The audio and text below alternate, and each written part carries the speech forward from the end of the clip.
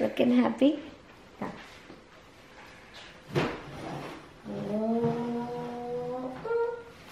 Okay, um, so we're going to finish that other story and then I'll tell you another one. Okay, there's it.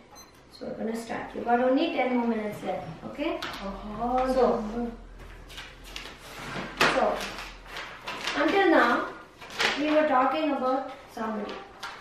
The story that I was telling you, what was it about? The story was about an. What was the story about? I was telling you a story. Sit straight. Uh, Raja. The story was about what? A. A N. And. The story was about an. T. No, it wasn't about an. It was about story. The story. The story I was telling you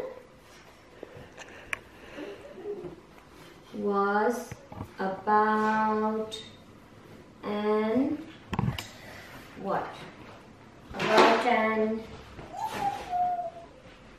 sit up, mama. About an oh a a you got a right right a about an a yeah, about an A. About an A. What's the second letter? A. A what? About an A. R. R. A R R. Right, R. About an R. R. Finish the word. A R E? No. The story, what was it about? It was this guy who makes paintings. What do you call a guy who makes paintings? It starts with A R. Sit straight. The guy makes paintings? Is an A R. A R move down. A R T A R T art art. One letter of art move down. Art Her artist is artist. A R T R S. Uh, artist S one letter of T. That's artist right artist T. I S T A R T I S T okay. the story is about an artist so Remember I told you that the king got angry because he made him look fat in the painting. So he went and more distraction. So the soldiers couldn't find him. So the king sent his chief advisor and said, hey, you find him. So the chief advisor, he entered the room and he saw there's like so many, 10 sculptures and he couldn't figure out which was the artist. Sit straight. Okay, so what did he say? He said, Hey man, your art is so perfect except for one mistake. One teeny tiny mistake. So the artist was like, oh my gosh, what? I made a mistake? I couldn't have made a mistake because he always knew, he thought his work was perfect. What did the artist think about his work? He thought his work was P, P, E, per P E R perfect. How do you spell perfect? Per one letter per F. Yeah. P E R F per P E R F. Do F touch it? It's harder to touch. Yeah. P E R F. Touch. Let me see how it works for you. Easier over here. Touch. P E R. Touch it. P E R perf. P R F. Then move your arm back. PRF perf here here here. Perfect is spelled like this. P E R F E C T. He thought his work was P E R F E C T. Thought his work was perfect. And so he got really upset. He immediately got out from the statues and said, Hey, where is my work imperfect? Wasn't very smart of him, right? Immediately the soldiers got a hold of him and they killed him. So the only reason he died was because he was too proud of his work. So that's one way of saying pride goes before a fall. Pride goes before a fall. Means somebody is too proud and they're bound to fall.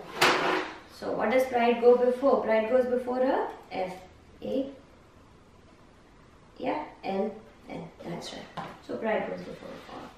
So now do you want, let me think, do you want another story or do you want to learn about American states and capitals? So, do you want um, American states and capitals? Or do you want a story? One more. So tell me, what is this? And capitals. American states and capitals or okay, which do you want? You have to tell me which do you want? Story? Okay. So we'll do a story then.